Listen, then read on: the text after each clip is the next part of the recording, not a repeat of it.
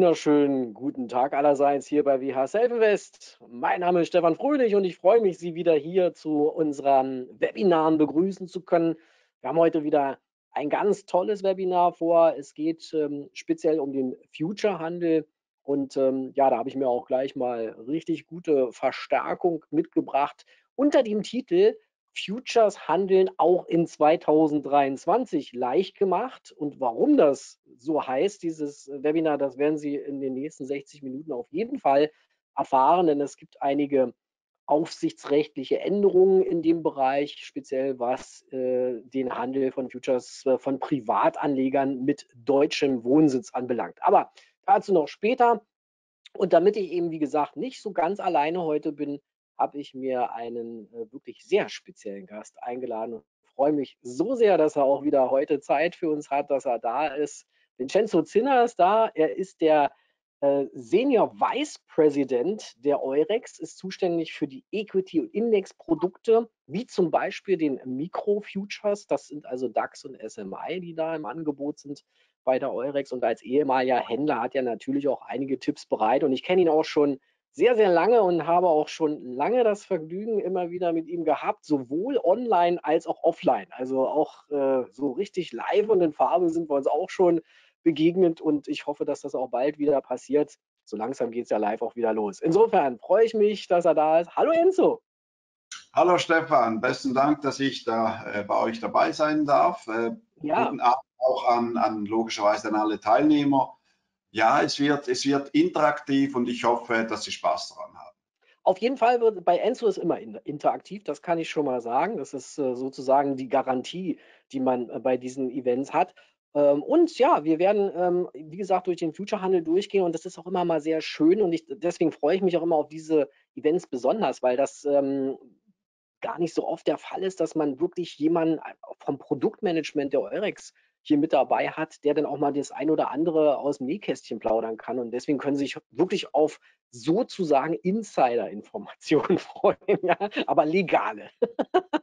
okay, den Risikohinweis haben wir hier jetzt auch schon eingeblendet und dann würde ich sagen, sind jetzt auch, dürften jetzt alle an Bord sein. Ich versuche ja auch immer noch so ein bisschen das Ganze hier zu überbrücken, dass alle sich noch einwählen können. Ich gebe dir einfach mal den Bildschirm rüber und dann ja. Äh, kannst, kannst du loslegen äh, und uns mal so ein bisschen erzählen, was die Eurex da so für schöne Sachen im Bereich der Mikrofutures macht.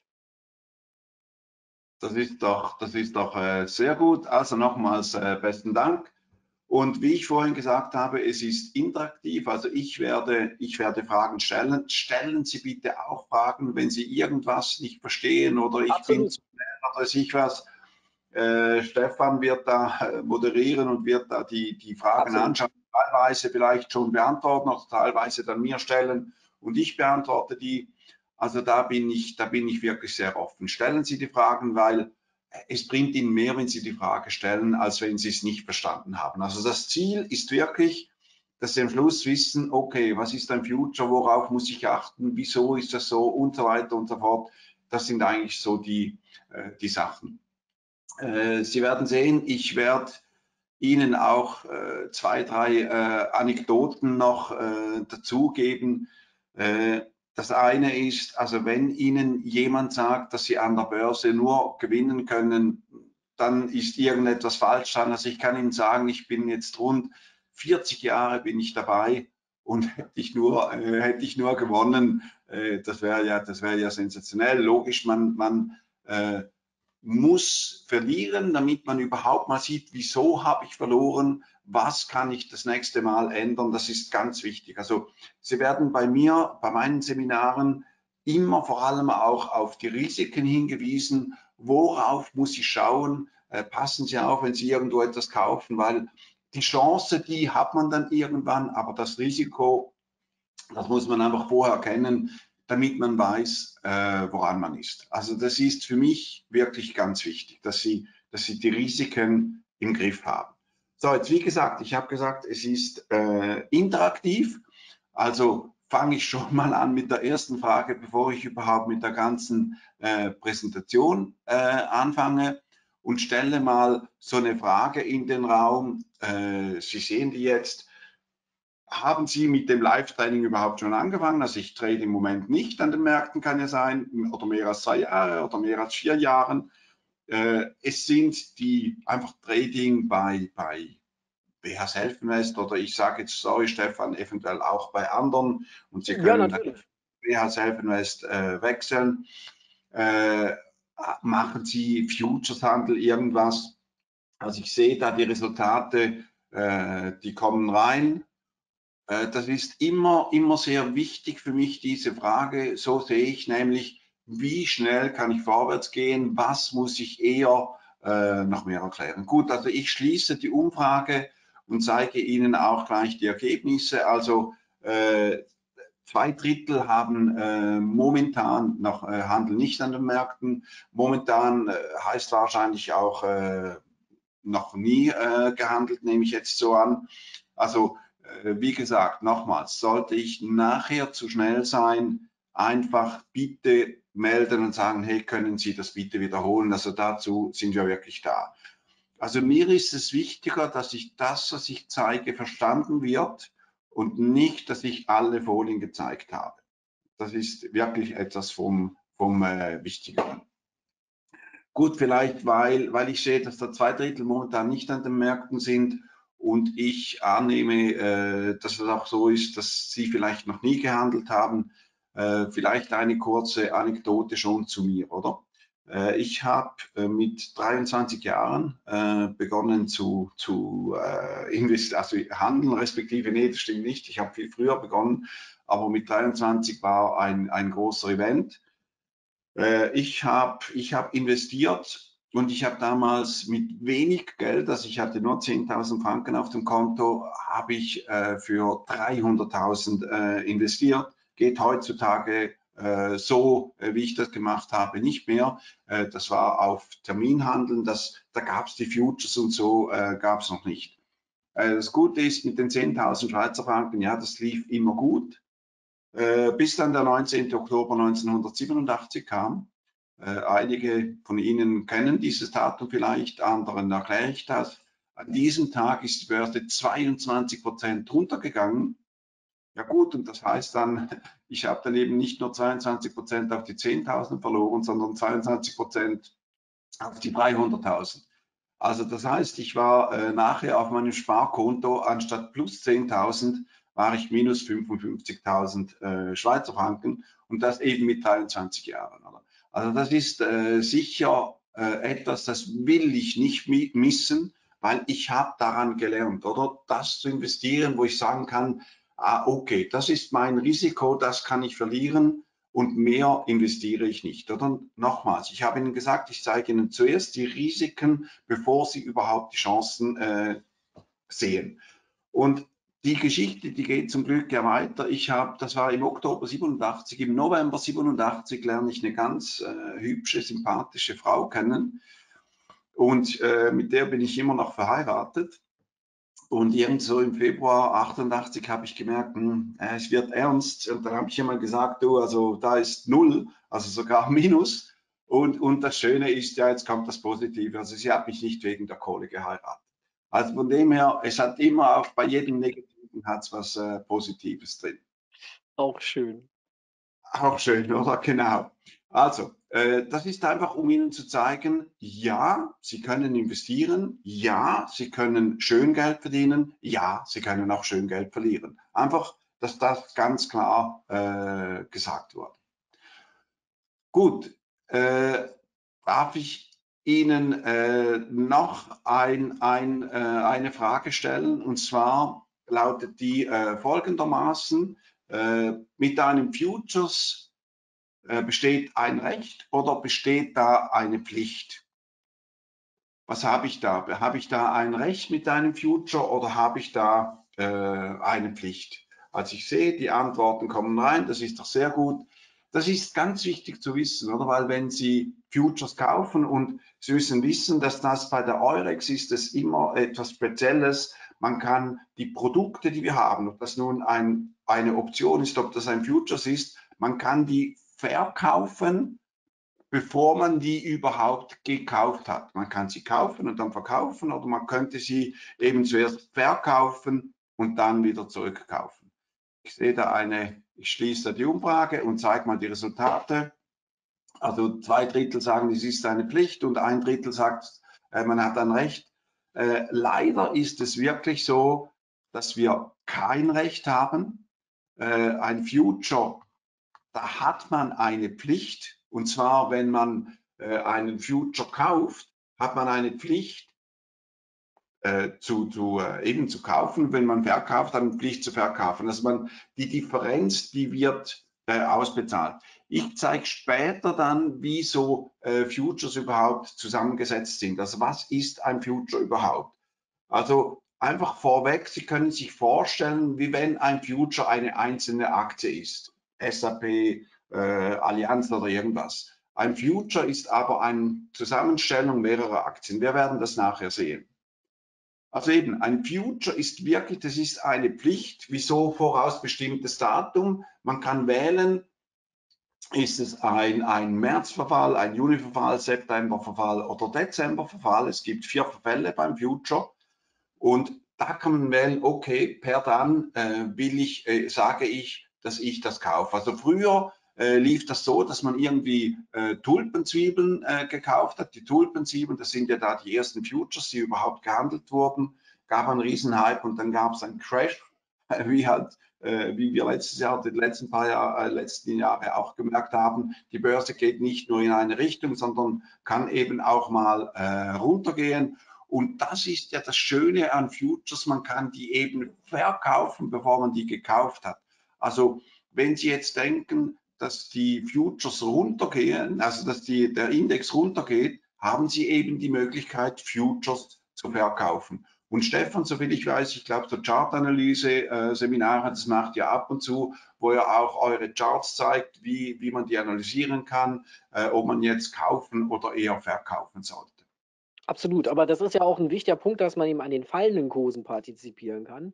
Weil das war ja auch lange Zeit gar nicht möglich. Ne? Zum Beispiel auch zu der Zeit, wo, jetzt komme ich mal hier mit der Kamera wieder rein, ähm, auch zu der Zeit, wo der neue Markt geplatzt ist. Ne? Da war das ja super schwer, an diesen fallenden Kursen positiv partizipieren zu können. Die meisten haben negativ daran partizipiert. Und auch die Möglichkeit, mit so einem Future Short zu gehen und praktisch sein Aktienportfolio abzusichern, das hatten, glaube ich, wenige auf dem Schirm. Also insofern, deswegen ist das so wichtig, dass wir diese Grundlagenarbeit machen und das genau erklären, was, was hier läuft. Ja.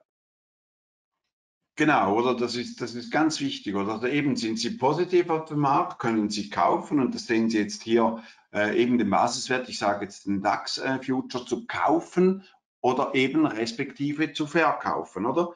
Das ist, das ist wirklich äh, wichtig, dass Sie das sehen, dass Sie in beide Richtungen investieren können, oder? Äh, mhm.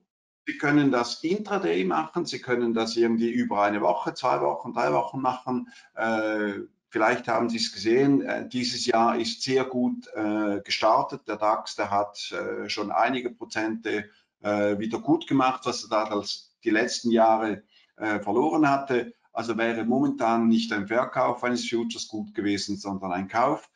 Ob jetzt momentan ein Verkauf äh, des Futures gut wäre, kann ich Ihnen so nicht sagen, darf ich Ihnen als Eurex äh, auch gar nicht so sagen.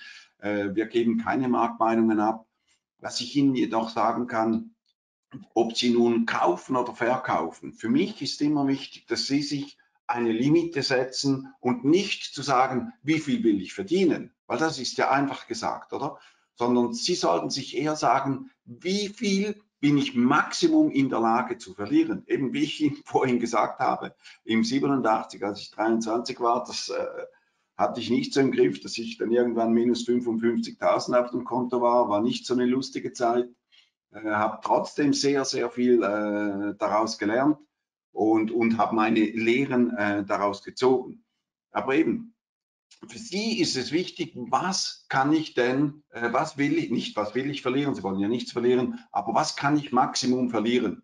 Und da setzen sich, Sie sich eine Limite und Sie haben da verschiedene Möglichkeiten bei BH Self Invest, ob das nun eine Limite nach oben ist, wo Sie zum Beispiel sagen, gut, ich will höchstens, äh, weiß ich was, 200 Euro verlieren nach oben und äh, Wenn's, wenn, wenn ich aber verdiene, irgendwie 300 äh, verdienen, können Sie sagen. Sie können bei äh, WHS Elfenwest auch sogenannte Trailing äh, Stop äh, setzen, wo Sie sagen, gut, ab jetzt bei 200 Franken Verlust verkaufe ich, aber wenn es hochgeht, dann zieht es die Limite wie nach.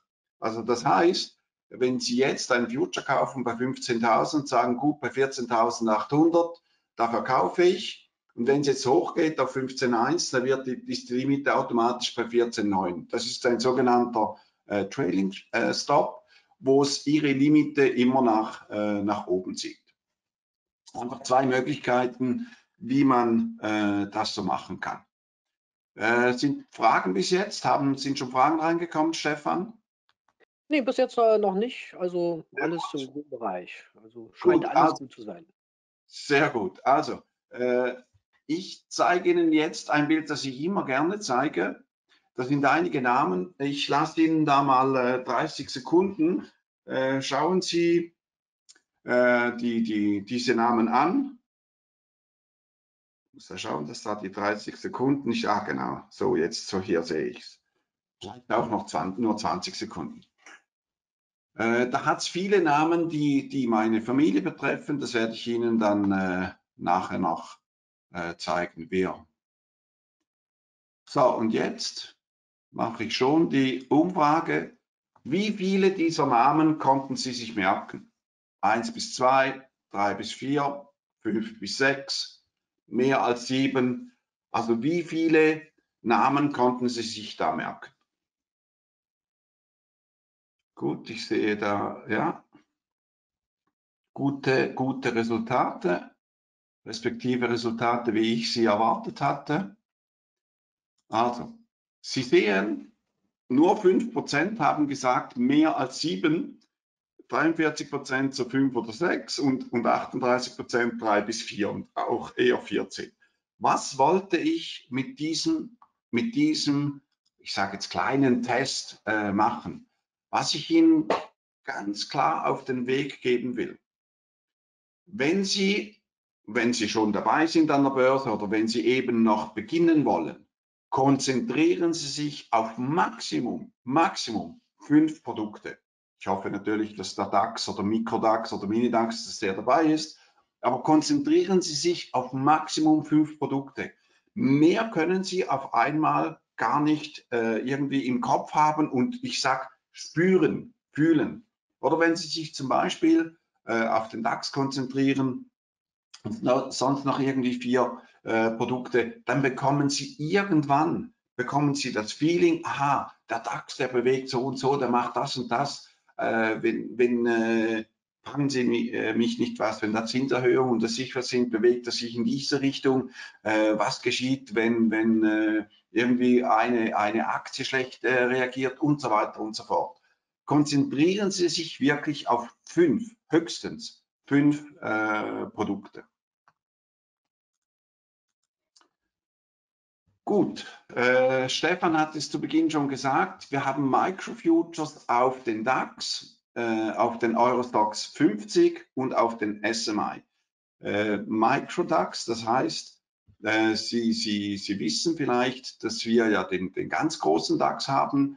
Dort gibt es Kontraktgrößen. Bei uns, bei der Eurex, spricht man immer von Kontraktgrößen. Also das heißt, wenn Sie den ganz großen DAX kaufen, das ist eine Kontraktgröße von 25. Was heißt das denn? Das heißt, der Index, da ist er jetzt rund bei äh, 15.000 und wenn Sie diese 15.000, äh, wenn Sie einen großen DAX kaufen, kaufen Sie eben 25 mal äh, diese 15.000, äh, was sind das? Irgendwie etwa 300.000 äh, Euro, die Sie da investieren, ist etwas mehr. Wenn Sie den Mini-DAX kaufen, also wir haben den äh, großen, dann den Mini. Mini-DAX ist die Kontraktgröße 5, also fünfmal äh, die 15.000 gibt 75.000 und wir haben den Micro-DAX, den haben wir jetzt letztes Jahr in die Welt gerufen. Im Micro-DAX, da haben Sie eine also Kontraktgröße 1, also das heißt, wenn Sie sehen, der DAX ist bei 15.000, dann ist die Kontraktgröße 1. Das heißt, Sie investieren 15.000 oder wenn Sie eben den verkaufen, verkaufen Sie für 15.000. Das ist ganz wichtig bei der Eurex, dass Sie die Kontraktgröße äh, kennen. Eurostox ist um die 4.000 und SMA ist um die 11.000. Einfach, dass Sie äh, das wissen, es ist Kontraktgröße 1. Das ist äh, gut, weil dann können Sie eben mit, ich sage jetzt mit kleineren Stücken, können Sie da irgendwo äh, etwas beginnen zu handeln. Und ich sage jetzt, wenn Sie, wenn Sie sowieso noch nie gehandelt haben, würde ich sowieso raten, mit kleinen Stücken äh, zu kaufen und nicht mit großen. Passen Sie einfach auf, die Börse, die ist irgendwie gemein. So die ersten ein, zwei Trades als Anfänger, da werden Sie wahrscheinlich verdienen und dann werden Sie mutig und setzen zehnmal so viel rein und dann werden Sie nervöser und verlieren vielleicht äh, deshalb. Also passen Sie auf, äh, wie Sie handeln, setzen Sie sich immer die gleichen Limiten. Ich kann Ihnen sagen, meine Frau, die, die, wenn ich ja sage, hey, ich habe wieder irgendwie äh, mehr verloren, als ich eigentlich wollte, hat sie gesagt, du hast dich nicht an deinen Regel, Regeln gehalten, richtig? Und genau so ist es, oder? Wenn Sie sich mal eine Regel äh, zulegen, sei das jetzt eben dieses äh, äh, Trailing Stop, wo Sie, wo Sie den, den, den, das immer nachziehen und Sie vielleicht ein, zweimal schlecht gelaufen sind damit, weil es zwar runter ist und dann wieder rauf, ändern Sie dann nicht einfach und sagen, oh, das nächste Mal mache ich es nicht. Glauben Sie mir, das nächste Mal wären Sie froh gewesen, hätten Sie diesen Trading Stop drin gehabt, oder? Also es ist immer so, wenn Sie sich eine Regel festsetzen, ob das nun der Trading Stop ist, ob das nun ist äh, 300 Euro nach oben, 200 nach unten, spielt keine Rolle. Für Sie muss es dann, also sollte es dann immer stimmen. Also logisch, zu Beginn müssen Sie schauen, was ist für Sie gut, also womit fühlen Sie sich wohl und nachher nicht mehr ändern, immer die gleiche Strategie fahren, damit Sie eben, oder wenn Sie einmal den Trailing Stop setzen und beim nächsten Mal dann nicht mehr, dann ist es genau beim, wenn Sie den Trailing Stop setzen, wäre es falsch und wenn Sie ihn nicht setzen, war es eben auch falsch. Also immer wirklich die gleiche äh, Strategie fahren. Das ist, das ist wirklich von mir aus gesehen sehr wichtig. Gut, in Kontaktgröße 1, das hatte ich Ihnen gezeigt, gut, das ist jetzt schon eines zu viel. Also, meine Frage, und jetzt, das ist wirklich etwas, was wichtig ist, was denken Sie, welches ist die Aktie, die am stärksten gewichtet ist im DAX? Denken Sie, es ist die SAP, sind wir das, die deutsche Börse, ist es die Siemens oder ist es Linde? Was denken Sie? Also ich sehe da, die Resultate kommen langsam rein. Ja, ist ziemlich ausgeglichen bis jetzt. Ja, jetzt haben wir einen Favoriten. Also, ich schließe die Umfrage. Okay. Und zeige die Ergebnisse. Also, SAP 40 Prozent, hey, 10 Prozent die deutsche Börse. Einfach so nebenbei, die deutsche Börse, die ist irgendwie unter ferner Liefen, die hat irgendwie 1, 2 Prozent äh, vom, vom gesamten DAX. Äh, Siemens und Linde, äh, je irgendwas. Sie hätten recht gehabt, hätte ich diese Umfrage vor drei Jahren gemacht. Da war SAP ganz klar der Leader. Und jetzt schauen Sie sich das an. Jetzt ist, äh, also sorry, das war im April 21. Das war April 21. Ich zeige Ihnen nachher, wie es jetzt aussieht. Im April 21 war es schon Linde. Siemens war an zweiter Stelle, Allianz dritter und SAP an vierter Stelle. Und schauen Sie sich mal, wie es jetzt ist. Entschuldigung.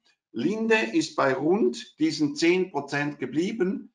SAP ist von 7,4 auf äh, 7,9 angestiegen. Und Sie sehen, die Allianz, die ist da gar nicht mehr drin. Da ist aber dafür, also bei den Top 5.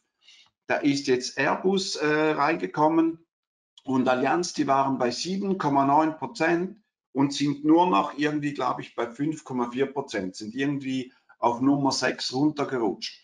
Wieso zeige ich Ihnen das? Ich hatte Ihnen gesagt, dass ein DAX, also ein Index, was ist das? Das sind einfach die 40 Unternehmen äh, am Xetra. Und Sie sehen, im April 21 waren es noch 30, jetzt sind es eben 40 äh, Unternehmen und die Marktkapitalisierung, was heißt denn das? Also es wird der Aktienkurs mal die Aktien, die ausstehend sind. Also wie viele Aktien gibt es, die gehandelt werden können, mal den Aktienkurs, das gibt die Gewichtung. Wieso ist die Gewichtung so wichtig für Sie? Weil wenn Sie wissen, dass Linde 10% Marktanteil hat, äh, was heißt das? Das heißt, dass wenn Linde, also alles bleibt gleich, alle Aktien bleiben gleich, aber Linde aus irgendeinem Grund steigt um 10% an. Das heißt, wenn Linde 10% ansteigt und das hat eine Gewichtung von 10%, dann steigt der DAX um 1%. Einfach nur, weil Linde angestiegen ist, auch wenn alles andere äh, stehen bleibt. Das ist, darauf wollte ich auch gerade nochmal hinweisen, weil früher war das so im DAX 30, so vor na, 20, 25 Jahren würde ich mal sagen, da war die Siemens super hoch gewichtet. Ja, da war die Siemens, die hatte einen, einen riesen Anteil am DAX.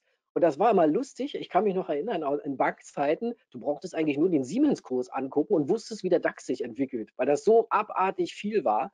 Und das hat man ja jetzt geändert. Man hat das etwas ausgeglichener gestaltet. Und das ist auch der Grund, warum wir jetzt 40 Werte anstatt die 30 Werte haben. Also das hat sich schon mal äh, zum Positiven verändert sozusagen. Gut, man muss sagen, das ist das eine, dass man von 30 auf 40 ist. Jedoch kommt natürlich hinzu, wieso, wieso ist jetzt äh, Allianz von 7,9 auf 6,4 äh, runter? Das ist ganz klar, weil eben der DAX ist angestiegen und die äh, Allianz ist weniger angestiegen oder sogar gesunken im Verhältnis zum DAX und deshalb ist natürlich die Marktkapitalisierung äh, tiefer jetzt äh, von, von Allianz. Also einfach, wenn ich schnell äh, nochmals eben bei Linde, wenn Linde 10% steigt, steigt der DAX 1% und der Rest bleibt gleich. Wenn Airbus, äh, alles andere bleibt gleich und Airbus steigt um 10%, dann steigt der DAX um 10% mal 5,6%, das heißt um 0,56%. Und eben, wenn, wenn äh, sag jetzt Deutsche Börse ist bei 2% Marktkapitalisierung, dann wären es 0,2 Prozent. Also ist es für Sie wichtig zu wissen, aha, wenn ich da diese fünf Produkte äh, anschaue, dann habe ich schon mal 37 Prozent des, des DAX im Griff.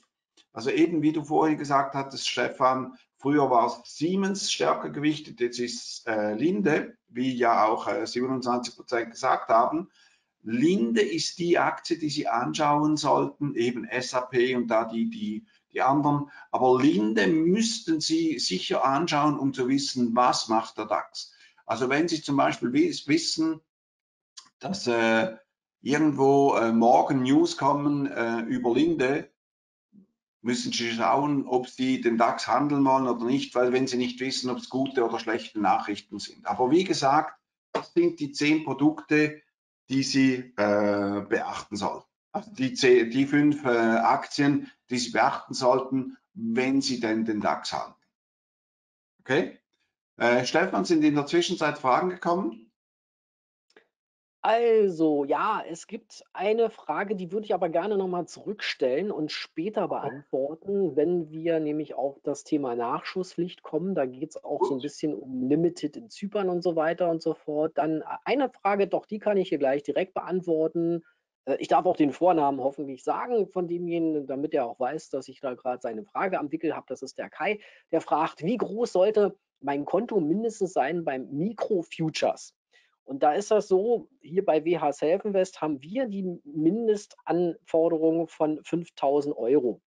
Es gibt ein Modell im Zusammenhang, also es gibt so Preispakete und, und Datenpakete und es gibt ein Modell im Zusammenhang mit dem Nanotrader, da sind es nur zweieinhalbtausend. Aber ganz ehrlich, das halte ich für zu wenig. Also ich bin auch eher der Freund für mehr Kapital, dass man auch Verluste aushalten kann durch eine vernünftige Kapitalisierung. Das fängt für mich tatsächlich bei mindestens 5000 an und, und höher geht immer logischerweise, weil man dann eben einen höheren Puffer hat. Ja? Also um die Frage da zu beantworten, sind wir dann bei äh, 5000 Euro. Ähm, der André hat noch eine interessante Frage, die äh, ist jetzt für dich, Enzo, und zwar ist Linde nicht aus dem DAX rausgegangen, um in den USA gelistet zu werden? Ha, ich weiß nicht, ob Linde in den USA gewichtet ist, aber da kann, äh, Linde kann da nicht einfach entscheiden, hey, wir gehen jetzt da raus, äh, sondern, sondern das ist natürlich so, dass äh, der DAX, also eben der deutsche Aktienindex, außer Sie lassen sich in Deutschland delisten, aber das ist äh, momentan äh, noch nicht der Fall. Aber solange sie natürlich in Deutschland gehandelt werden und sie natürlich eben so eine große äh, Gewichtung haben, sind sie da drin. Also es ist ja nicht so, äh, dass eine Aktie, wenn sie in einem Index ist, nicht in einem anderen sein kann. Es gibt natürlich Aktien, eben Eurostocks. Äh, da ist natürlich, sind natürlich die größeren deutschen äh, ebenfalls drin. Da hat es auch französische Aktien drin und, und italienische und das ich was alles. Äh, aber da ist natürlich Linde äh, auch drin. Und ich wusste jetzt das gar nicht, dass die sich äh, jetzt auch in äh, Amerika haben listen lassen. Äh, ob die dann groß genug sind, ob dort in einen Index zu kommen, das kann ich so jetzt abschließend nicht sagen. Äh, eine, eine Frage haben wir jetzt noch ganz schnell, und zwar die Frage, ob man diese Folien, diese Unterlagen irgendwie downloaden kann. Äh, ich kann das so machen, äh, Stefan. Ich kann die, äh, ich kann dir ein PDF senden und okay. Äh, Sie dann bei, bei Stefan, also bei WH Self Invest anfragen und er sendet Ihnen dann, wenn das okay ist. Das ist okay. Ähm, was auch geht übrigens, vielleicht als kleinen Hinweis, es gibt in diesem Fenster, wo Sie uns beide jetzt oben sehen und unten die Folie vom Enzo, da gibt es oben eine Screenshot-Funktion. Sie können auch gerne Screenshots machen von dem, was Sie da sehen. Ja, also äh, das ist meistens ja sogar ein bisschen effektiver, weil man dann das screenshottet, was einem am wichtigsten ist und dann hat man eine schöne Essenz am Schluss. Ja, also mhm. das äh, wissen, glaube ich, viele gar nicht, dass das funktioniert. Genau, aber eben, also wenn jemand die Folien will, das ist für mich überhaupt kein Problem. Also die kann Super. ich die, dir als PDF senden, Stefan, und dann kannst du die weitergeben. Können wir gerne so machen, klar, natürlich. Genau. Gut, also dann, dann gehe ich weiter, was ganz wichtig ist. Ich habe jetzt hier etwas verglichen, was nicht vergleichbar ist. Ich habe den DAX mit dem Eurostox und dem SMI verglichen und das ist nicht vergleichbar. Wieso? Beim DAX werden die sogenannten Dividenden reinvestiert und beim SMI und beim Eurostox nicht. Äh, was heißt das? Also der SMI und Eurostox, die verlieren jedes Jahr die drei, vier Prozent äh, Dividende, die da bezahlt werden, ist der Index einfach tiefer und beim DAX ist das nicht so. Also das heißt, wenn wir jetzt so einen Vergleich machen, den ich hier habe, da steht der DAX äh, der hat 12 Prozent verloren und der SMI 17. Äh, ja, logisch, da sind 4 Prozent äh, Dividendenrendite drin. Also äh, wäre es eigentlich nur, sage ich jetzt, minus 13 Prozent. Und beim Eurostox, wenn ich da die 3, 4 Prozent wegnehme, sind es irgendwie 8 oder 9 Prozent, den er dieses Jahr verloren hat. Wenn wir das auf fünf Jahre anschauen, sieht sogar noch viel brutaler aus. Der DAX hat 2% verdient pro Jahr, das ist immer pro Jahr. Und hier beim Eurostox, das wären dann eigentlich 5 bis 6 Prozent und beim SMI äh, 6 bis äh, 7 Prozent. Einfach, dass Sie das sehen. Eben der DAX, dort werden die Dividenden reinvestiert, beim Eurostox und SMI nicht. Äh, jedoch nehme ich an, dass Sie vor allem ja sowieso den, den DAX anschauen. Äh, zum DAX Futures Kurs. Vielleicht ist Ihnen aufgefallen, dass Sie die, äh, ich weiß nicht, ob ich jetzt, nein, das habe ich jetzt kein Bild hier, Vielleicht ist Ihnen aufgefallen, dass so dass das letzte Jahr, da war der DAX-Index und der DAX-Future, die waren etwa gleich. Wieso? Weil die Zinsen bei Null waren. Ein Index äh, Future, der stellt sich so zusammen, Indexkurs plus Zinsen minus Dividenden. Aber beim DAX gibt es ja nicht minus Dividenden. Also beim DAX wäre es Indexkurs plus Zinsen. Ja gut, wenn die Zinsen null sind, dann ist der Index gleich Future. Jetzt momentan ist der Future äh, rund 20 Punkte höher als der Index. Das ist eben, weil die Zinsen angestiegen sind. Also umso höher die Zinsen ansteigen, umso höher ist die Differenz zwischen dem Future-Preis und dem äh, DAX äh, selbst. Einfach, dass Sie das äh, sehen. Und Sie müssen auch wissen, dass per Verfall, also wenn Sie jetzt so einen äh, Future kaufen, per Verfall wird der Future gleich Indexpreis sein. Also die 30 Punkte äh, Zinsen wird er natürlich verlieren. Jeden Tag äh, geht das natürlich dann näher zum, zum äh, Index, weil logischerweise Zinsberechnungen können Sie alle, oder? Die, die 20 Punkte, die gehen dann äh, weg. Gut, ah, das wollte ich eigentlich, eigentlich Frage stellen, bevor ich das da äh, so zeige. Ich will ganz kurz die äh, Volatilität äh, besprechen. Jetzt denken Sie, ja gut, was zeigen Sie Volatilität bei Futures? Volatilität, die haben ja vor allem bei Optionen zu tun. Äh, trotzdem will ich Sie mal fragen, 32% Volatilität, was heißt das?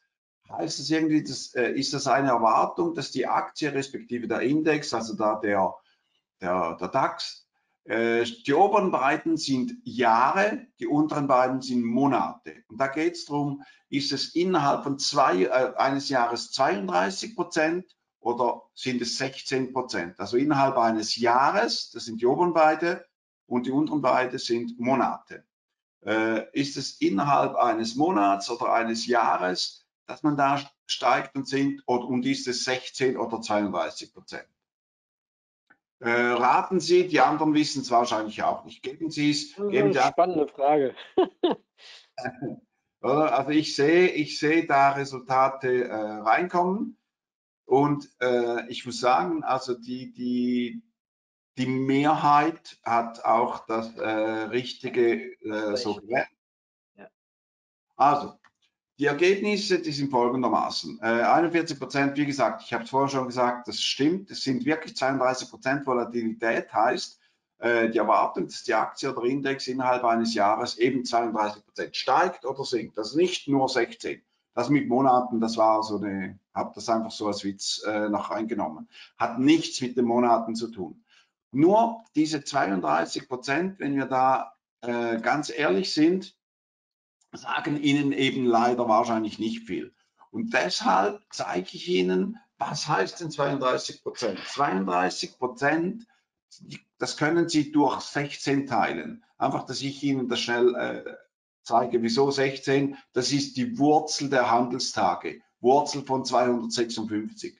Also das heißt, wenn Sie eine Volatilität sehen von 16 Prozent, ist es eine tägliche Erwartung, also tägliche Volatilität von einem Prozent.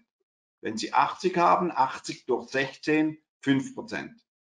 Ja gut, und jetzt fragen Sie mich, was hat denn Volatilität überhaupt mit äh, Futures zu tun? Und deshalb komme ich schon zur nächsten Frage.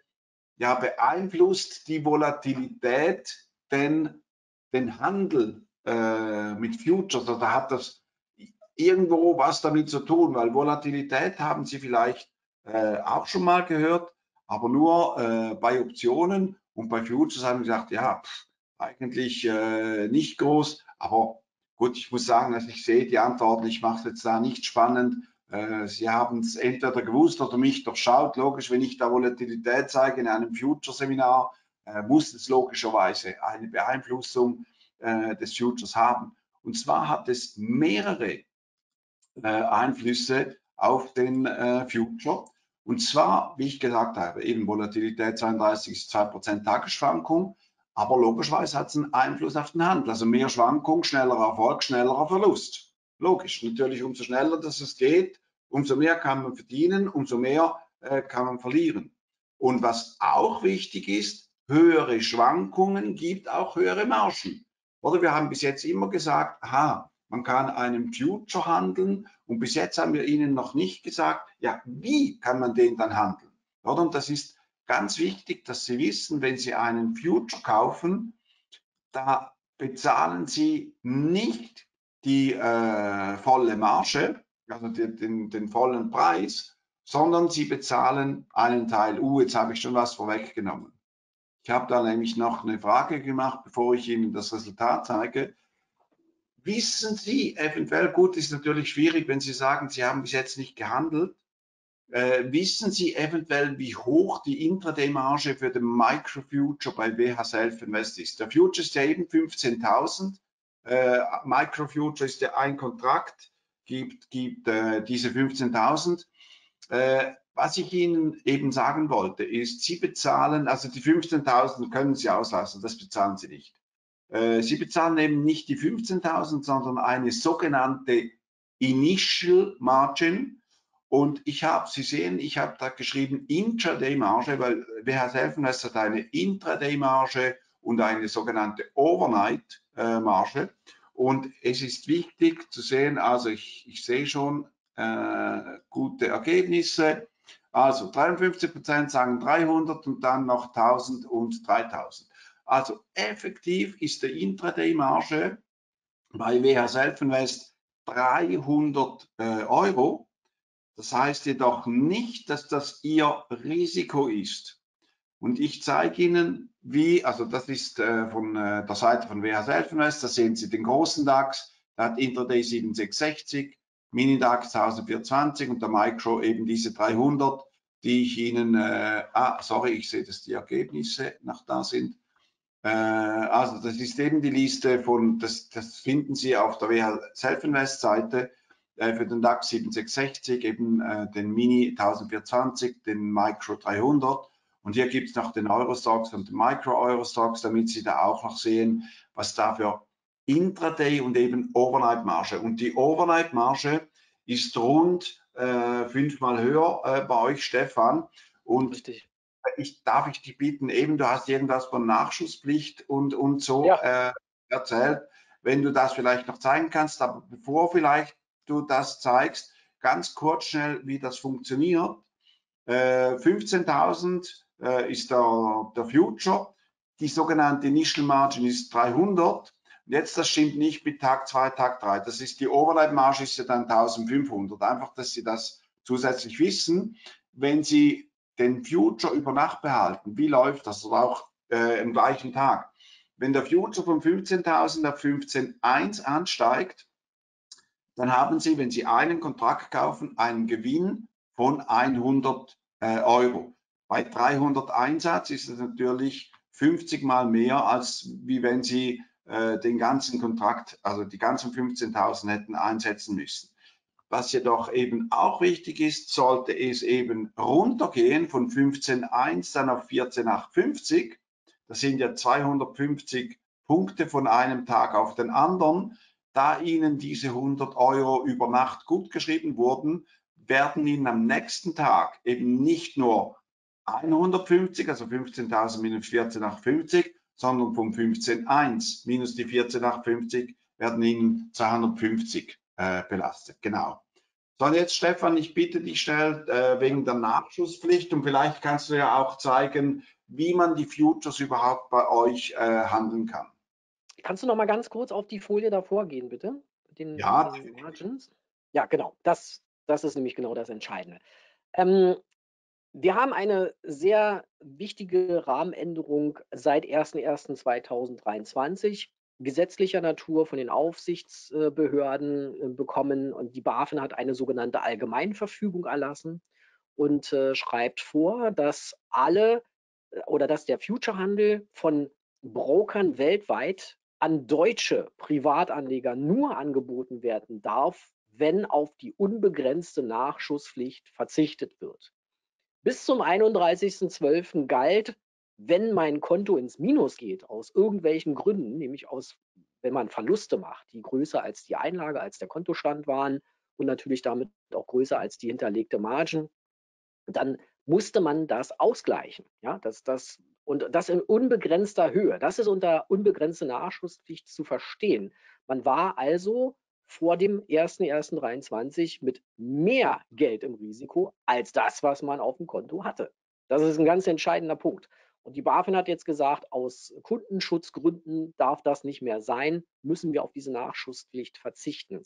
Und das hat eine gravierende Auswirkung auf die gesamte Branche gehabt. Wir waren ja uns, die Ankündigung kam ja im Oktober, dass das passieren wird und wir waren uns eigentlich nicht so richtig sicher, was jetzt genau passieren wird. Wir bei WH Self Invest haben von Anfang an gesagt, das ist überhaupt gar kein Problem, weil wir schon 25 Jahre Erfahrung in diesem Geschäft haben. Und wir haben mit dem Future tatsächlich angefangen vor 25 Jahren. Und wir haben alle Höhen und Tiefen gesehen, die ein Markt haben kann. Unser Risikomanagement ist halt so gut, dass wir es uns leisten können und auch von der ganzen Eigenkapitalausstattung so, dass wir uns das leisten können, ins Risiko zu gehen, ja, für den Kunden. Und dass wir im Prinzip das Future-Geschäft genauso anbieten können, wie es vor diesem Stichtag war. Ohne Änderung. Wir haben weder Margins erhöht, wir haben noch irgendwelche Rahmenbedingungen verändert, sondern der Future-Handel ist genauso geblieben. Und jetzt, ähm, wenn man sich mal anschaut, links und rechts, was da passiert ist, es sind einige Anbieter vom Markt komplett verschwunden, die gesagt haben, unter, diesen, unter dieser Bedingung kann ich mir es nicht mehr leisten, den Future-Handel für Privatanleger anzubieten. Da sind also einige komplett weg. Und andere wiederum, und da sind so renommierte Namen wie Interactive Brokers oder Ninja Trader dabei, die sagen jetzt, ich muss die Margen erhöhen, aber auf drastische Art und Weise. Ich will das mal hier am Beispiel Minidax mal zeigen. Die Intraday-Margin bei uns ist 1420 Euro, das heißt für einen Kontrakt. Das war ja fünfmal den DAX. Ne? Für einen Kontrakt brauche ich also nur 1420 Euro an Sicherheitsleistung hinterlegen, um diesen Kontrakt intraday zu handeln. Das heißt, am gleichen Tag rein und wieder rauszugehen. Und wenn man diese Position über Nacht hält, also praktisch nach dem Börsenschluss 22 Uhr und äh, dann durch die Nacht äh, diese Position hält, das geht dann um 1.15 Uhr dann an der Eurex auch wieder los, dann braucht man 7.100 Euro. Die besagten Broker, die ich gerade angesprochen habe, die hatten alle auch eine Intraday-Margin. Die ist komplett gestrichen worden, das gibt es gar nicht mehr. Und diese Overnight-Margin, die man hier sieht, ist die Original-Sicherheitsleistung, die die Eurex verlangt. Also wir haben da keine Aufschläge oder sonstiges drauf, sondern sagen einfach nur, wir wollen eben das als Sicherheitsleistung haben, was die Börse haben will, weil wir das Geld ja dort auch wirklich physisch hinterlegen müssen. Und diese beiden Broker, die ich gerade angesprochen habe, die haben die verdoppelt. Das heißt, wenn Sie Mini-DAX dort handeln wollen, dann auch intraday, dann müssen Sie 14.200 Euro an Margin hinterlegen. 14.200 Euro versus 1.420 bei uns. Himmelweiter Unterschied. Und ich glaube, dann wird die ganze Sache schon ein bisschen schwierig, weil es einfach nicht mehr effizient genug ist äh, und ich viel zu viel Kapital im Prinzip aufbringen muss, um hier äh, vernünftig handeln zu können. Also das ist ganz schön aus dem Ruder gelaufen und deswegen äh, sind wir jetzt auch unterwegs mit den ganzen Webinaren in Sachen Futures. Wir haben heute das äh, mit dem äh, äh, Enzo, wir haben dann noch mit René Wolfram und mit Max Schulz entsprechende Webinare in diesem Monat noch, um sie einmal aufzuklären über den Future-Handel und zum anderen auch über die Situation und ihnen zu sagen, wenn Sie Futures handeln wollen, dann bleibt Ihnen fast gar nichts mehr anderes übrig, als zu VHS Invest zu kommen und ein Konto zu öffnen, weil bei uns sind eben die Rahmenbedingungen absolut gleich geblieben, äh, wie sie auch im letzten Jahr waren. Ja, das also vielleicht nochmal so als kleinen Hintergrund. So, und jetzt ähm, hattest du ja gesagt, ich soll nochmal kurz hier auf die Handelsmöglichkeit eingehen. Das mache ich natürlich furchtbar gerne. Ja. Und zwar, Moment. Wenn ich Ihnen ganz kurz schnell in dem Fall, bis du soweit bist, äh, noch schnell was ja. sagen. Klar. Äh, wir, hatten, wir hatten Besuch und dann hat meine Frau gesagt, hey, ich habe Eis. Und dann hat der Besuch gefragt, ja, was für Eis hast du denn? Und die Antwort meiner Frau war große und kleine. Ich weiß nicht, habe ich sie beeinflusst mit Mini-DAX und Micro-DAX, dass sie nur noch große und kleine gesagt hat. Also sie hat nicht irgendwie ERP oder Schokolade gesagt, sondern nur große und kleine. Und okay. Äh, bei uns gibt es ja jetzt große äh, DAX, äh, den Mini-DAX und den Micro-DAX. Und äh, du zeigst jetzt den Mini, nehme ich an, oder? Ah nein, den großen. Ich, ich habe sogar beide oder alle drei mal hier aufgemacht. Ich kann die auch mal so ein bisschen nebeneinander stellen. Ja, also wir haben äh, hier oben den F-DAX, dann haben wir hier den Mini-DAX und hier den Micro-DAX. Das sieht jetzt aber doch ein bisschen doof aus. Also machen wir es ruhig mal groß. Ähm, das ist schon mal auch ein entscheidender Unterschied zum CFD, weil die Frage nämlich auch kam, äh, ob ich da mal ganz kurz darauf eingehen könnte, zum Unterschied zwischen CFD und Future. Und da sieht man hier auf der rechten Seite schon mal einen ganz entscheidenden Unterschied. Wir haben nämlich viel mehr Informationen im Future als beim CFD, weil wir haben hier einen Blick in das Orderbuch.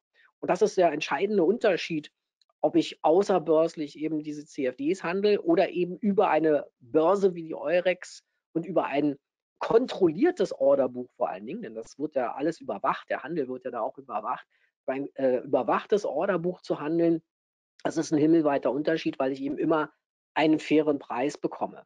Und es gibt da auch noch Mechanismen von der Eurex, dass sichergestellt sind, dass man äh, möglichst gute Liquidität in den Märkten hat, dass man also auch immer fair abgerechnet wird und auch immer den bestmöglichen Preis bekommt.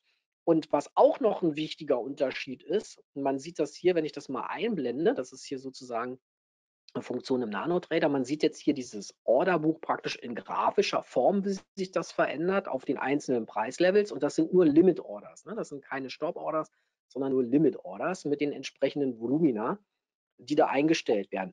Und sowohl der deutsche Bankhändler als auch der Privathändler, alle müssen über dieses Orderbuch. Es gibt keine Bevorzugung in irgendeiner Art und Weise.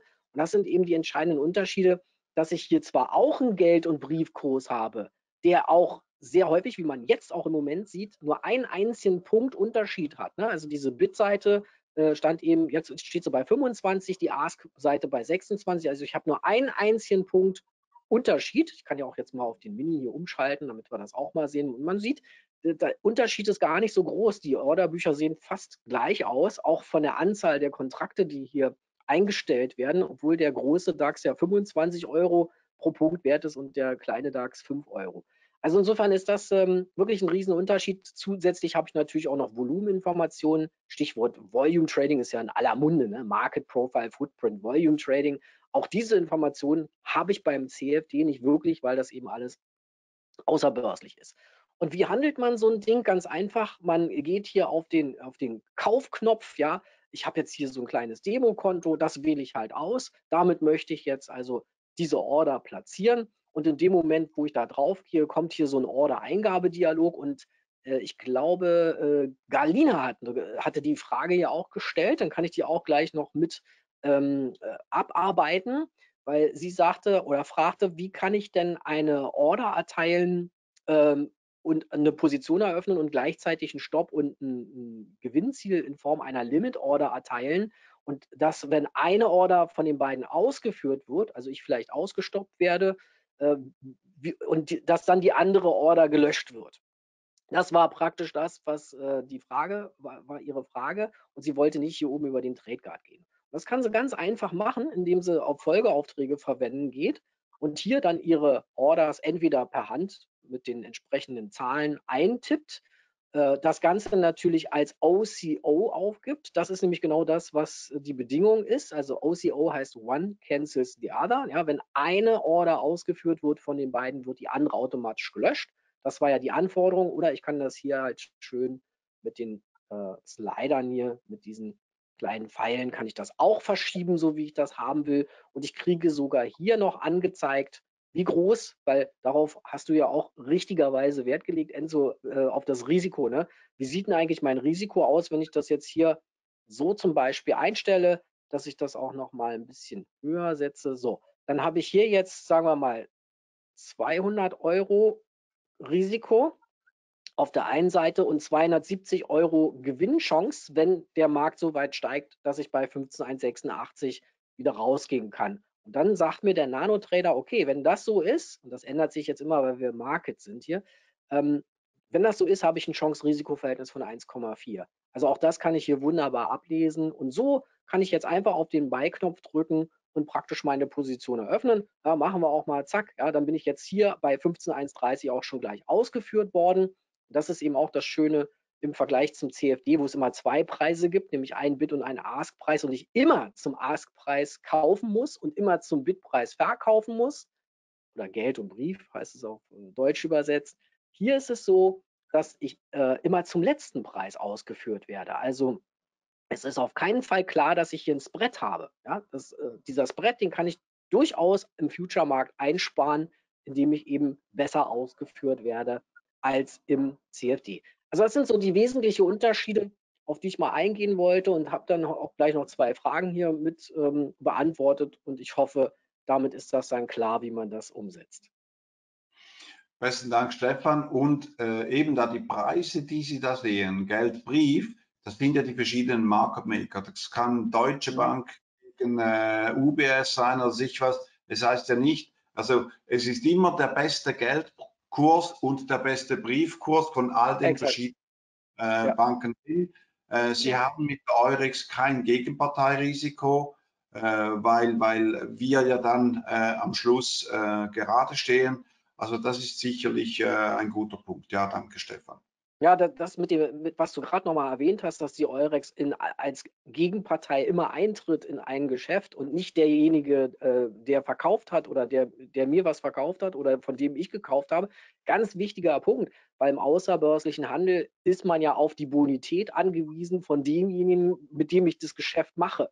Hier steht die große Institution Eurex als Gegenpart gegenüber und das ist vielen, glaube ich, auch gar nicht bewusst, dass das so ist. Und deswegen ist das so wichtig, dass dieses Risiko komplett ausgeblendet ist, weil das wird immer von der Eurex gedeckt werden. Ganz wichtiger Punkt, finde ich. Genau, besten Dank. Und eben damit der Nachschusspflicht, die du da erwähnt hast, ist einfach, ich ja. sage, die, die, die Marge, die man bezahlt hat, die ist at risk. Und man äh, eben über, über Nacht muss man da äh, nachschießen, aber das ist höchstens diese 300, die man da noch nachschießen muss. Und mehr, mehr gibt es nicht. Genau. Mehr gibt es nicht. Ne? Und gut, wir werden natürlich auch liquidieren, das ist ganz klar, weil wir ja im Risiko stehen. Das heißt also, wenn die Gefahr besteht, dass die Margin komplett aufgebraucht wird durch die Verluste oder das Konto ins Minus geht, ja, ist klar, dann, dann liquidieren wir von uns aus. Ja, das ist auch logisch. Da haben wir ein entsprechendes Riskmanagement dahinter. Vielleicht noch mal kurz zu der Frage, weil ich hatte die ja ähm, beiseite geschoben, um sie jetzt noch mal kurz vorzuholen. Da wurde gefragt, Moment, ich muss ja mal erstmal hinscrollen, weil es sind schon wieder so viele Fragen drin, dass das schon wieder ausgeblendet ist hier. Wo habe ich sie? Wo habe ich sie? Wo habe ich sie? Äh, hier. Äh, hallo, mich interessiert, ob für mich mit der Gründung einer Limited in Zypern und der dortigen Non-Dom-Regelung, die seit ähm, Januar 23 gültigen BaFin-Regelung gelten, also Verhinderung der Nachschusspflicht, wie eben erklärt. Könnten Sie bitte auf diese Frage eingehen oder mir einen Tipp geben, wer äh, mir mit dieser Frage weiterhelfen kann? Also es ist ja so, beim Privatanleger habe ich es ja klar erklärt, ne? Rahmenbedingungen sind komplett gleich. Sie können also so handeln wie vor dem Stichtag 1.1.23. Für GmbHs und Limited gilt, dass ja eh per se die Kapitalgesellschaft nur mit ihrem Kapital haftet. Das heißt also, auch hier äh, gibt es schon pro forma keine Nachschusspflicht, ja, wenn man das macht. Und die Möglichkeit besteht durchaus, bei WH Self Invest Firmenkonten zu eröffnen, entweder für eine deutsche GmbH, das kann man ganz normal machen, unter Umständen auch für eine Limited Zypern. Aber da gibt es besondere Bedingungen und da würde ich Sie einfach bitten, mit uns mal in Kontakt zu treten, dass wir das individuell besprechen, weil äh, da gibt es äh, so viele Möglichkeiten, das kann ich jetzt nicht pauschal beantworten. Ja? Es gibt aber Möglichkeiten, dass es funktioniert, aber da müssen wir dann wirklich nochmal individuell drüber reden, wie das funktioniert. Und ich werde auch gleich noch ein kleines Angebot machen und da sollten Sie vielleicht dann von Gebrauch machen. Ja, vielleicht auch noch mal ganz kurz von mir eine Umfrage und zwar, wir haben ja jetzt viel gesehen, viel gehört über den Future-Handel, sind vielleicht auch super interessiert, das mal auszuprobieren. Das kann man natürlich mit der Demo von unserem Nano-Trainer machen oder man sagt jetzt hier einfach in der Umfrage, äh, ob Sie Interesse an einem Neukundenangebot haben. Ja, und dann einfach auf Ja klicken und vielleicht noch die Telefonnummer bei uns im Chat hinterlassen. Dann würde ich Sie auch persönlich kontaktieren und mit Ihnen das besprechen, sodass Sie also da die Chance haben, mal äh, Konditionen abzufragen. Wir können auch, wie gesagt, individuelle Angebote machen und wir haben auch ähm, immer mal wieder spezielle Angebote äh, als Aktion und insofern äh, kann sich das echt lohnen, da mal in den Dialog zu treten. Also wenn Sie da Lust haben, dann können Sie, wie gesagt, auf Ja klicken und dann sage ich mal 3, 2, 1. Dankeschön dafür. So. Enzo, hast du jetzt noch was? Ich habe noch was, ja genau. Und vor allem, ich habe gesehen, da hat er noch eine Frage gehabt ich ja. habe es, konnte nicht alle äh, durchschauen, aber da hat äh, Christoph hat gesagt, was passiert mit der Marge beim Verkauf des Futures? Also wenn du mir den Bildschirm äh, wieder rübergibst, kann ich das nochmals ganz kurz zeigen. was aber natürlich. Der Marge? So. Also Christoph, ich kann Sie beruhigen, die Marge, die überweist äh, WH Self-Invest dann immer mir. ja, das wäre schön. Für dich jedenfalls. die Idee. Also, ist, äh, ich gehe dann nochmal schnell zurück zur, zur ah, also das ist weiter unten hier. Also, äh, wie sieht das aus mit der Marge? Also, äh, ich habe jetzt hier 300 geschrieben, das stimmt aber, sorry, wenn ich das mache, äh, pro Tag hätte das nicht gestimmt, das sind ja 1500, die Sie da Marge bezahlen. und jetzt Tag 1, 2, 3, 4. Am sechsten Tag wird der Kontrakt verkauft bei 15.250. Also das heißt, gibt Totalgewinn von 250 plus wird natürlich die Marge von 1500, die über die Tage immer gehalten wurde, ihnen wieder äh, respektive die, das Geld freigegeben. Ich nehme ja nicht an, Stefan, dass ihr die Marge, dass ihr die belastet, sondern ihr werdet nur die Marge vom Konto einfach äh, blockieren, nehme ich an, oder? Exakt, ja, ja. Also das wird nur blockiert, das wird jetzt nicht wirklich belastet. Das, was passiert an Belastung oder Gutschrift, ist das, was du ja hier zeigst, dieses tägliche Settlement, wie das so schön heißt, also diese Barabrechnung auf, basierend auf dem effektiven Gewinn und Verlust. Ja, so. Genau, plus, plus am letzten Tag, da lässt ihr die Marge wieder frei, also die 1500, die ihr blockiert hattet, die sind dann einfach äh, frei, die sind wieder frei zur Verfügung.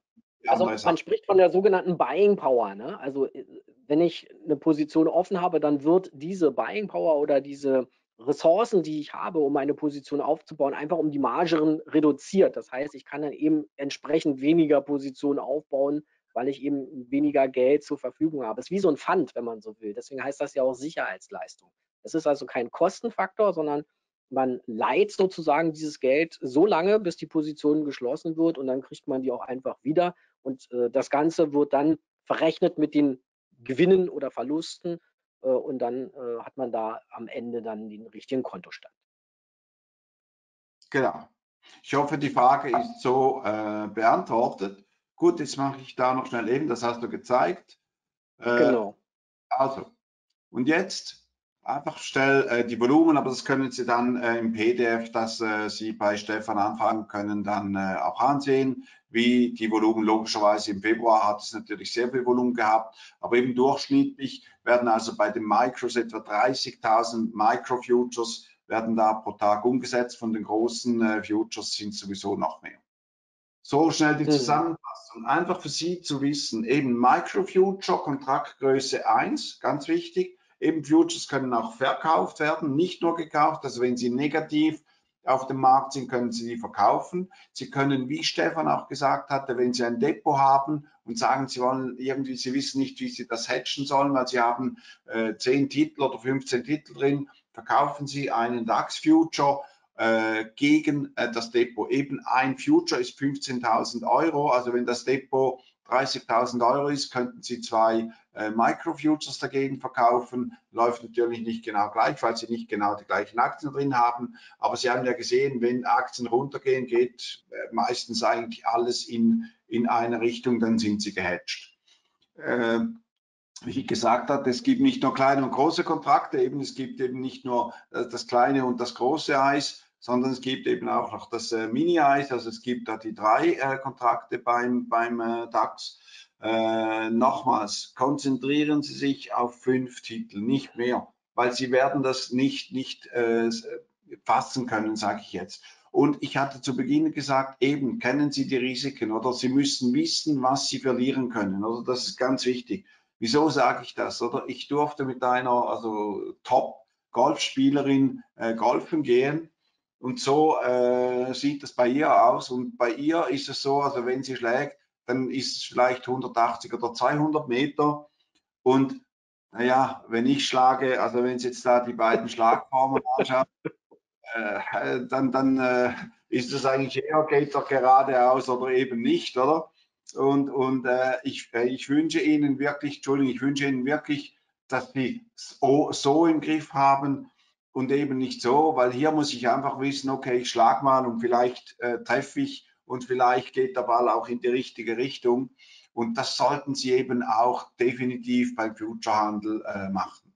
Oder dass das Sie. Guter, das ist ein guter Vergleich, finde ich, mit dem Golfsport, weil wenn ich jetzt Golf lernen will, dann brauche ich ja auch erstmal eine kleine Anfangsinvestition. Ne? Ich brauche eine Golftasche, ich brauche ein Equipment, ich brauche einen Golflehrer, den muss ich ja auch bezahlen für die für die äh, Ausbildung, die er mir da bietet. Und ich muss ja auch noch diese sogenannte Platzreife machen, die kostet auch noch Geld. Ja, also du kannst nicht einfach auf den Golfplatz gehen und losspielen. Ja, du musst sozusagen dafür ausgebildet werden. Und das ist im Future nicht anders. Auch hier genau. äh, muss ich ein bisschen Geld in die Hand nehmen, zum Beispiel auch für adäquate Daten. Das ist auch nochmal ein ganz wichtiger Unterschied zum CFD-Handel, dass man hier es mit Tickdaten zu tun hat, die jeden einzelnen Tick, und so ist das bei WHS Helfenwest, weil wir ja mit CQG zusammenarbeiten, bekommt man hier wirklich jeden einzelnen Tick im NanoTrader angezeigt. Und äh, deswegen ist das so unglaublich wichtig, dass man da eine gute Datenqualität hat. Aber es kostet eben auch was. Man muss hier für die Daten ein monatliches Budget einplanen, im, eben im Vergleich zum CFD-Handel, wo die Kurse meistens kostenlos sind. Nur dafür muss man dann auch wieder gucken, wo kommen die eigentlich her? Sind das wirklich echte Marktdaten, wie bei WH Selfenvest?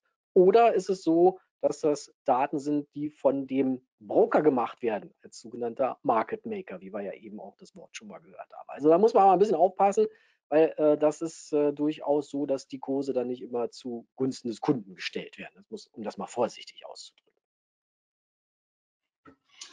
Gut, also ich, ich danke dir, Stefan. Ich möchte auch allen Teilnehmern danken, die äh, da äh, mitgemacht haben und auch eben, wie gesagt, äh, aktiv, äh, aktiv da äh, mitgehandelt haben, oder? Nee, super. Also es war sehr schön, auch sehr interaktiv. Ich habe, äh, gehe noch mal ganz schnell durch die Fragen. Ich kann die ganz schnell noch beantworten. Ich habe eine Frage gesehen, schnell, die ich ganz kurz beantworten will. Ja. Ich weiß nicht, ob du eine andere gesehen hast. Da steht so, mit welchem Hebel arbeitet man äh, bei Futures. Mhm. Und äh, schauen Sie, ich habe das hier äh, auf dieser Folie festgehalten. Also wenn Sie intraday handeln, also mit, äh, bei WH7 Invest mit einer Marge bei Micro äh, Future von 300 Euro, ist es ein Hebel von 50, weil Sie bezahlen ja anstatt die 15.000 nur die 300, äh, Marge 2 Prozent. Also das heißt, äh, Sie haben einen Hebel von 50. Also eben wenn der Index von 15.000 auf 15.1 ansteigt, ist das äh, wenig, aber das ist natürlich 50 mal mehr auf die 300. Das sind ja 33 Prozent, äh, die Sie äh, da verdienen von 300 äh, plus die 100, oder? Äh, wenn Sie es overnight machen, dann wären, wären Sie 1500, dann ist es noch ein Hebel high, dann ist es doch ein Hebel von 10. Mhm. Ähm, Nee, ich hatte jetzt tatsächlich noch eine andere äh, oder andere Fragen sogar. Ähm, hier ist noch die Frage, wo finde ich die Margen auf der Webseite? Und da kann ich mal ganz kurz hier wieder schnell den Bildschirm übernehmen und mal hier zeigen, unsere Webseite. Das ist die whshelfenwest.de, da ist sie. Und da geht man dann hier oben auf Futures und dann scrollt man einfach runter Zugang zu allen Futures-Märkten. Und da sieht man jetzt diese Tabelle, die du in der Folie wunderbar hattest. Und da kann man sich das anschauen. Ähm, ich wollte noch ein kleines Angebot machen, und zwar dieses hier. Eine kleine Sonderaktion. Jeder Teilnehmer, der jetzt noch dabei ist, und das sind ja noch einige, äh, und hier in diesem Webinar ist, hat die Möglichkeit, mit mir einen Strategietermin sozusagen am Telefon 30 Minuten zu buchen. Alles, was Sie machen müssen, ist entweder mit Ihrem Handy einfach zu scannen, diesen QR-Code auf der linken Seite, oder Sie geben daher einfach per Hand diesen Link ein, calendly.com, das ist so ein Terminverwaltungstool, slash s fröhlich mit OEH minus WHS. Da können Sie das buchen und dann können wir uns da zusammen telefonieren. Und das ist vielleicht nochmal auch ein Hinweis für denjenigen, der über die Limited-Auskunft haben wollte. Vielleicht buchen Sie einfach mal da so einen Termin in dem Tool und dann können wir darüber mal sprechen. Ähm, weitere Frage, kann man auch noch einen Point of Control einblenden? Ja, das ist alles möglich, gibt es im NanoTrader als Zusatzfunktion. Die Quotes, Last Preis aus der Time and Sales werden alle grafisch angezeigt, wird das auch überwacht. Es ist im Prinzip ja die Wiedergabe des Original-Börsenfeeds, ja, was wir hier in, in der Plattform haben und das gehört natürlich auch zum überwachten Handel dazu. Sind diese Funktionen bei der kostenlosen Version vorhanden? Ich nehme mal an, da ging es um diese Order-Eingabe, die ich gezeigt habe. Bei der kostenlosen Version, also bei der NanoTrader Free Version, ist auch diese Funktion mit den ähm, Folgeaufträgen, so wie das ja so schön heißt, dass man Stop und Limit dann daran packt, das ist mit enthalten. Was passiert mit der Margin beim Verkauf? Das hatten wir gerade. Ähm, WH Selfenvest bietet ja ein CFD-Konto wie auch ein Future-Konto. Ist bei beiden der NanoTrader im Einsatz? Ja, es ist also so, das sind wirklich zwei verschiedene Konten. Man hat einmal das CFD-Konto, man hat einmal das Future-Konto, aber wir können im NanoTrader beide Konten miteinander verbinden und Sie können dann aus einer Plattform mit beiden Konten und mit beiden Marktarten agieren. Ja, das ist also überhaupt kein Thema. So, und die Frage finde ich auch noch sehr schön zum Abschluss. Wieso ist bei mir denn im Hintergrund es noch hell? Wie kann denn das sein, dass mein Hintergrund so hell ist? Das ist ganz einfach. Das ist ein Foto von unserem Büro und äh, das ist natürlich ein bisschen fake. Also das wird hier schön über so ein Greenscreen eingeblendet, damit das einfach nett aussieht ja, äh, dass ich eben nicht irgendwie vor so einer Bücherwand sitze oder so, so wie wir das aus Corona-Zeiten kennen, sondern haben wir uns gedacht, nee, da machen wir mal einen schönen professionellen Hintergrund, auch mit Logo oben drin. Und deswegen ist es bei mir eigentlich immer hell. das ist der ganze Grund. Okay, und NanoTrader ist nicht auf Mac nutzbar. Das ist ein reines Windows-Programm, weil das hier auch noch vom Jörg gefragt wurde. Ähm, da gibt es halt nur zwei Möglichkeiten. Entweder man versucht es mit Parallels, ist aber nicht so wirklich die tolle Lösung, die ich jetzt empfehlen würde.